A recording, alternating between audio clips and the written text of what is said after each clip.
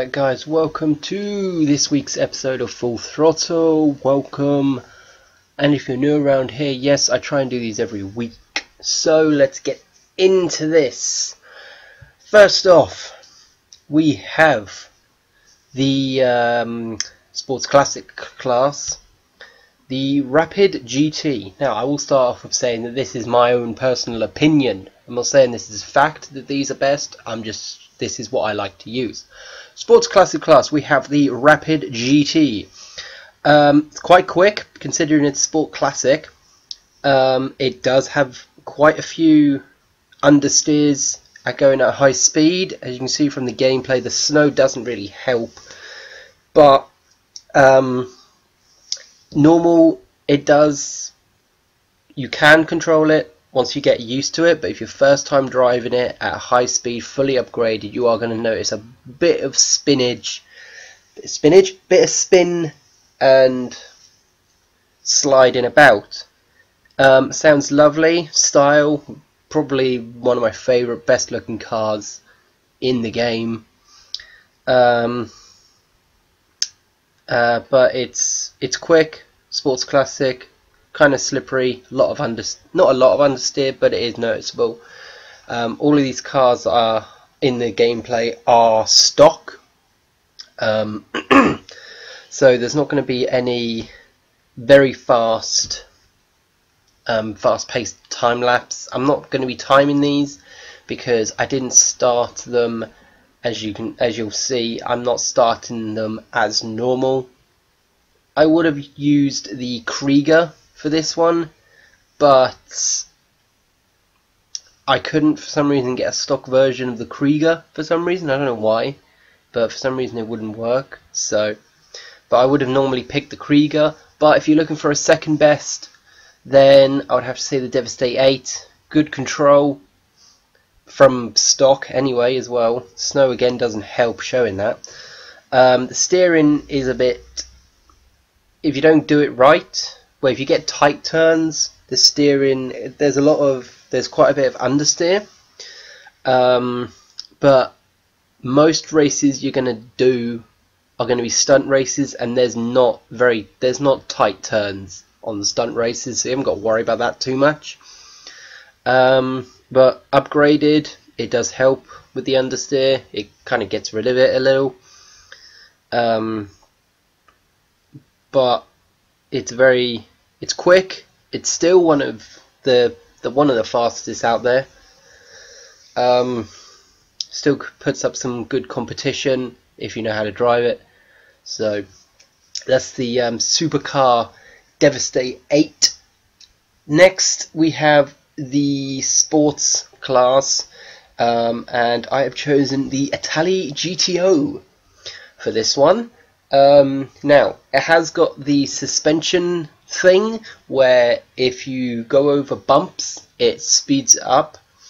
Um, side note, if you're going to use a car for the achieve highest top speed random um, free mode event, use the Itali GTO because I can get it up to, I think I got up to 174 once.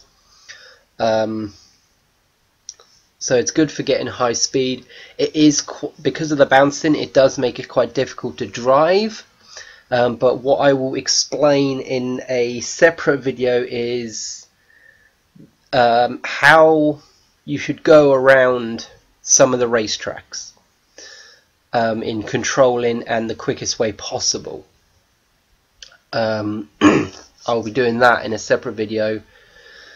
Um, but I'll give you a sneak peek on that. Basically, don't use the brakes so much if you're going to be racing in this. Um, but no, the Itali GTO, bit slippery as well.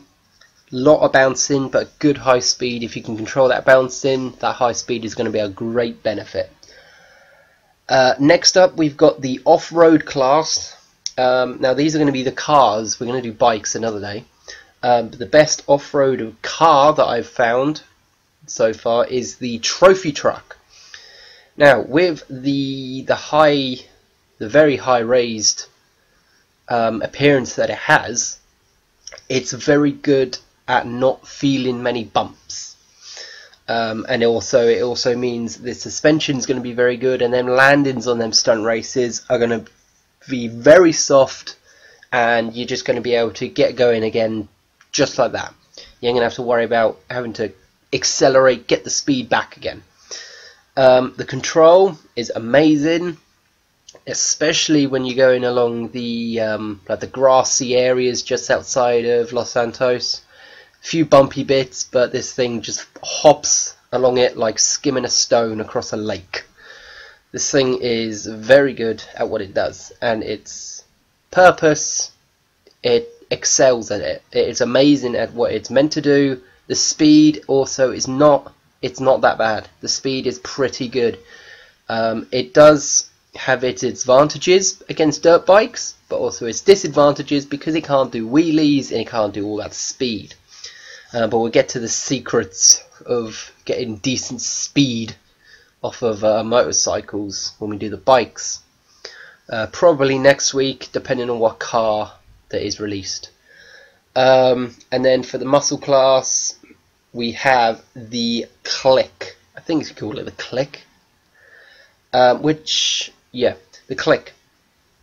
Um, now, most people, there is a bit, there's a lot of different choices that you can have for a muscle car for races. Um, but the Clique is, um, it's, I think it's better because the what's it called?